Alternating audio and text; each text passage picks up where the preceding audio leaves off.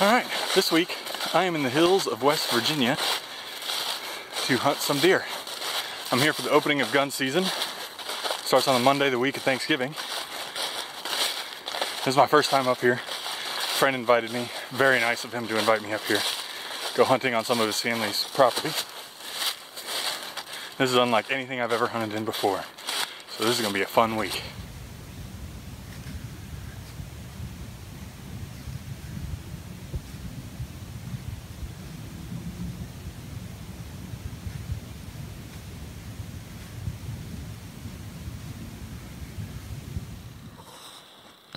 Alright, it's day two of the West Virginia hunt, and it has been very active. Seen lots of deer, just haven't seen what we're looking to shoot, which is more mature bucks. Lots of young bucks, lots of doe, so lots of activity. Just not what we're looking for right now.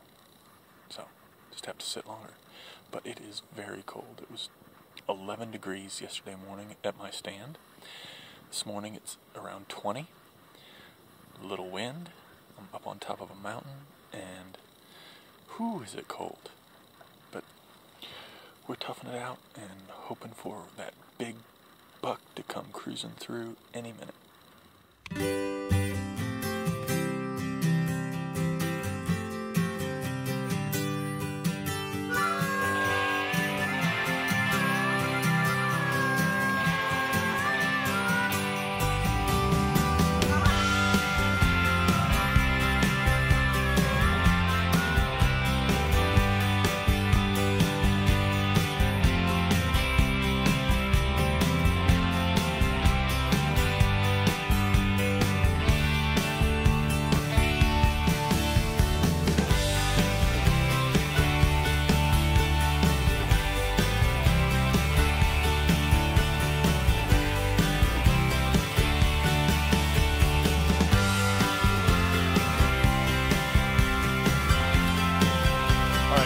Last day of hunting here in West Virginia. Actually, last yesterday was the last day we actually hunted. Today's just the last day we're packing everything up.